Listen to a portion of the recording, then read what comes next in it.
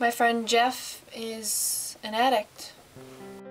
It is really hard admitting that your brother is an addict.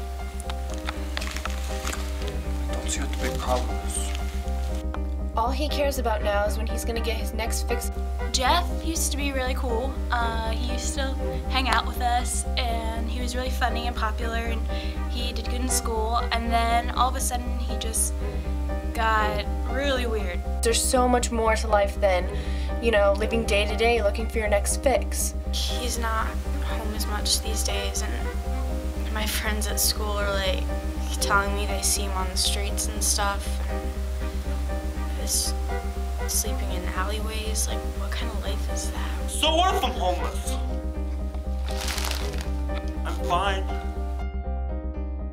He just sleeps in the weirdest places. And when you bother him, he gets really grumpy. Mom and Dad said they're gonna kick you out if you don't stop this addiction. Yeah, oh! so? You- do you- Yeah, so? Yeah, so? Dad! Yeah, oh! so? Yeah, that's right, legal girl! I'm gonna it! He goes out and buys his stuff in the creepiest of places. It's not safe for him, it's dangerous.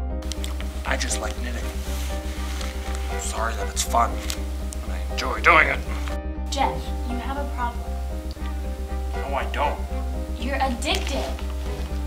No, I'm not. Yes, you are. No, I'm not! Yes, you are. Shut up! I'm not addicted!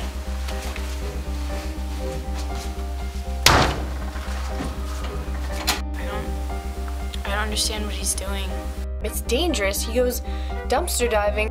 You know, Jeff's my brother, and I and I love him, and it's it's really hard to see someone who's just like he was so well liked at school.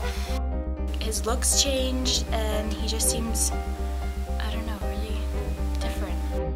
I don't know what it is, man. Feel of the needle in my fingers. Feel of yarn in my hand. I just love knitting. I don't know what the big deal is. It really hurts seeing the way Jeff's shut us out of his life.